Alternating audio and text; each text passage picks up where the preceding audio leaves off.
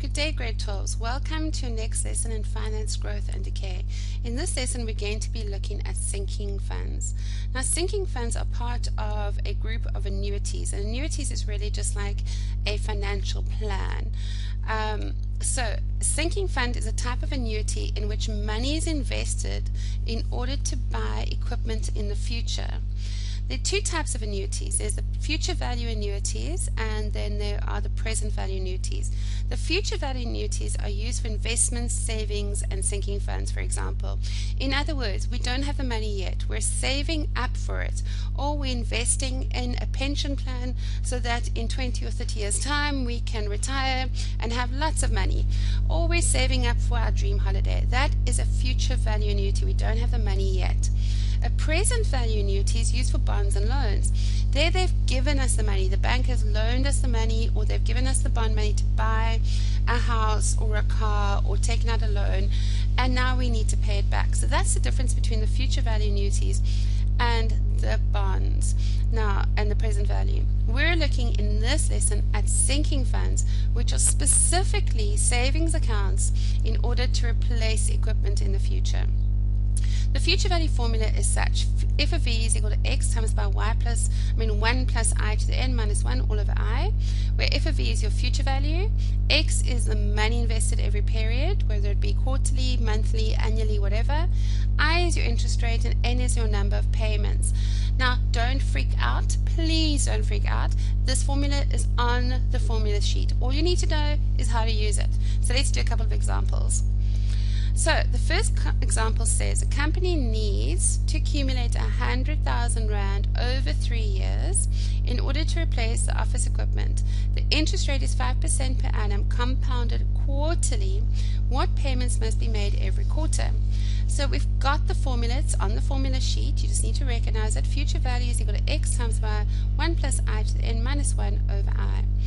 Now, let's see what information they gave us. They told us they want to accumulate 100,000 Rand. So in the future, they want to have 100,000 Rand available to them.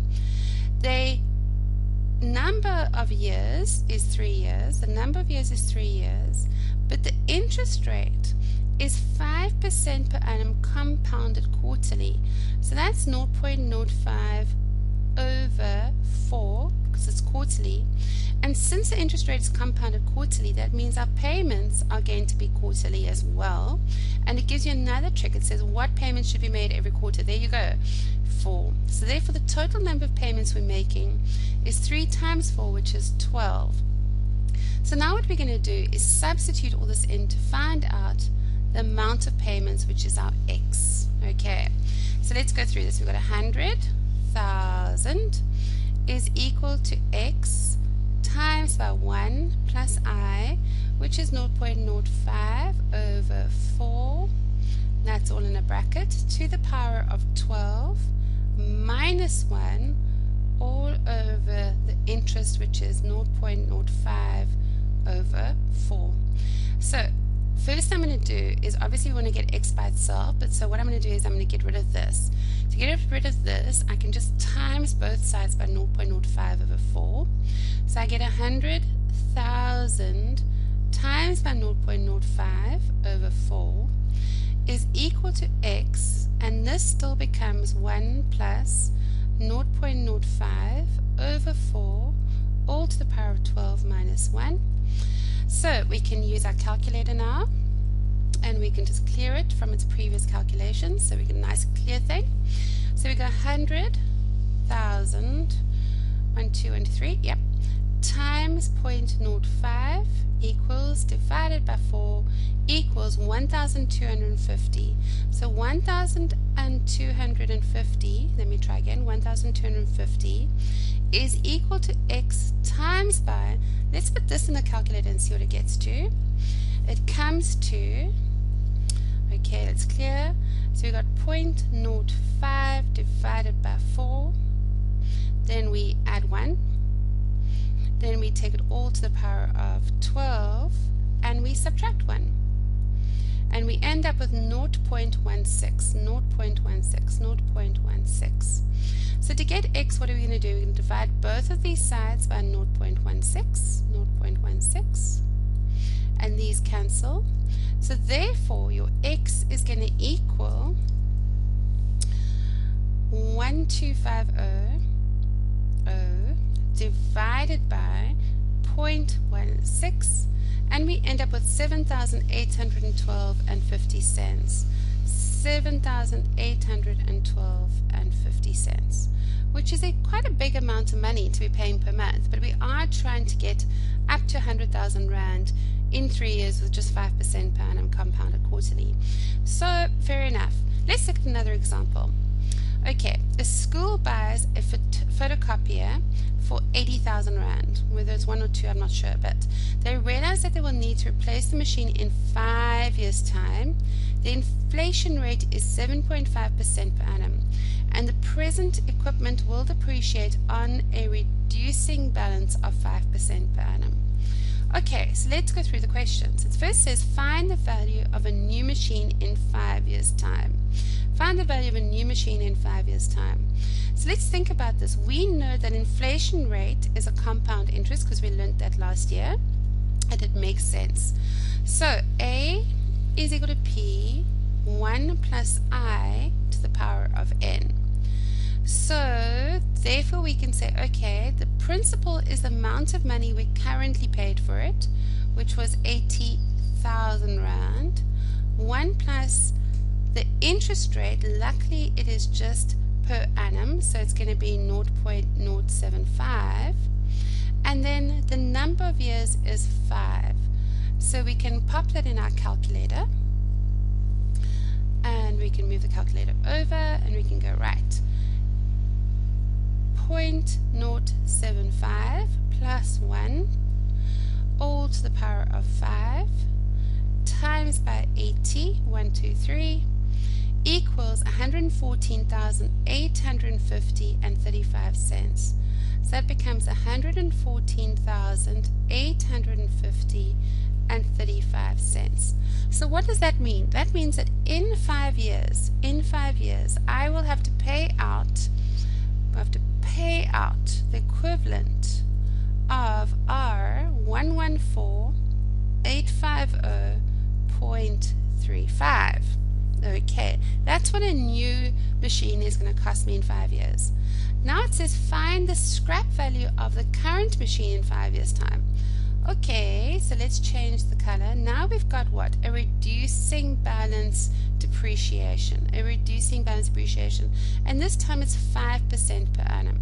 Okay, so therefore we've got A equals P 1 minus I to the power of N Again, this time your principal is going to be 80,000 because that's what we paid originally.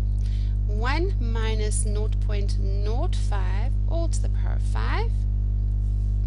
So, if we get out our calculator and we clear stuff, we can go 1 minus 0.05 equals 0.95 all to the power of 5 and then we times it by 80, 123, and that is 61,902 and 48 cents. 61,902 and 48 cents. 61,902 and 48 cents. In other words, if we had to sell in five years' time, the selling price, the selling price of our old photocopier, old photocopier,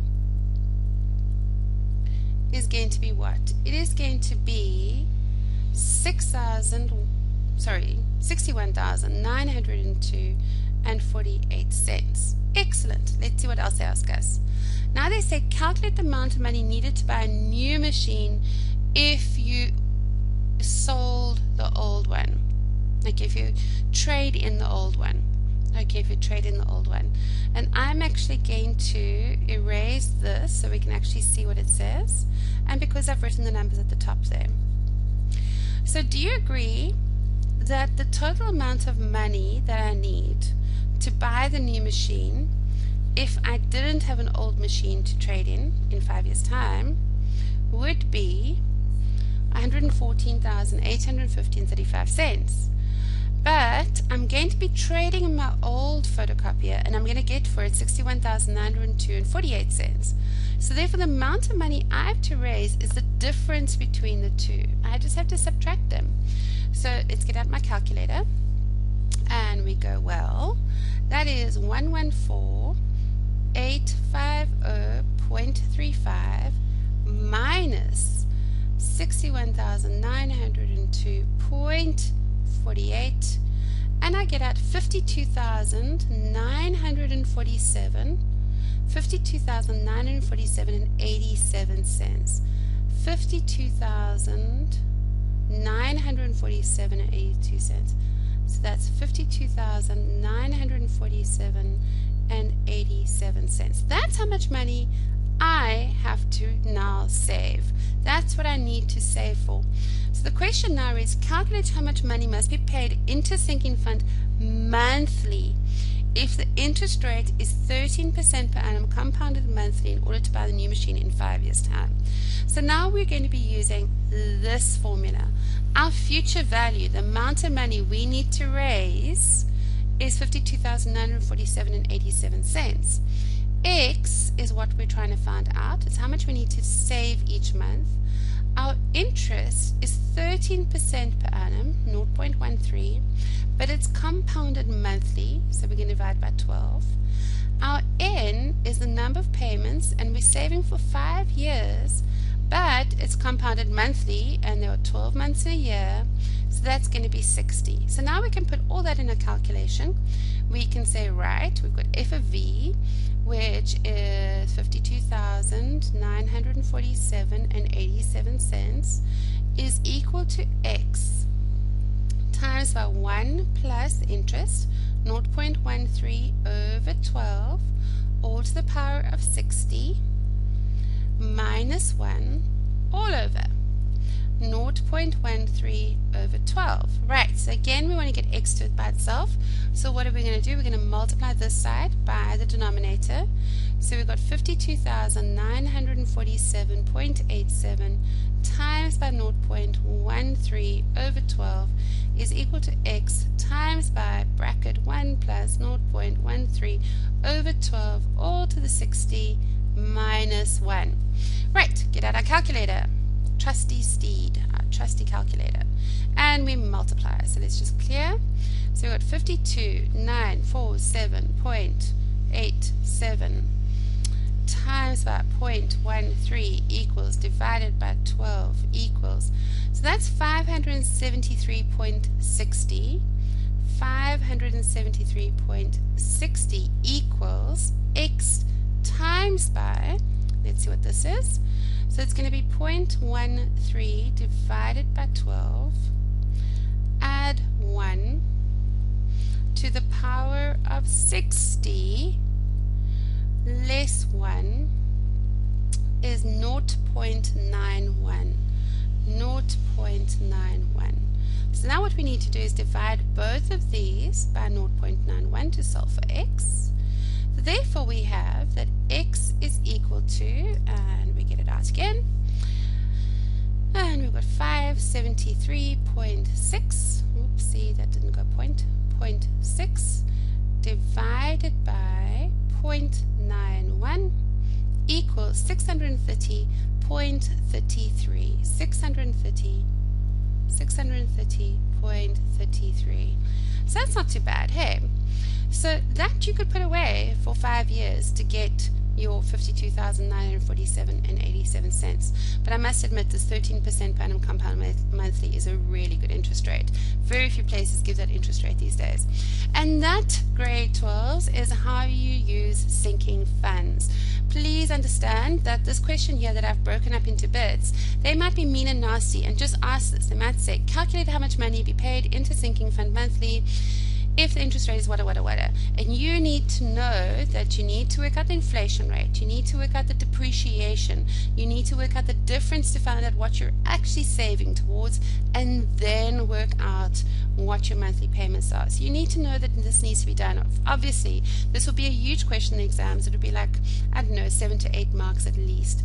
So please go practice this. This is actually a very nice question. It's nice and easy to do if you break it up into its baby steps and it's mega marks. Please go practice. Have a lovely day. Cheers.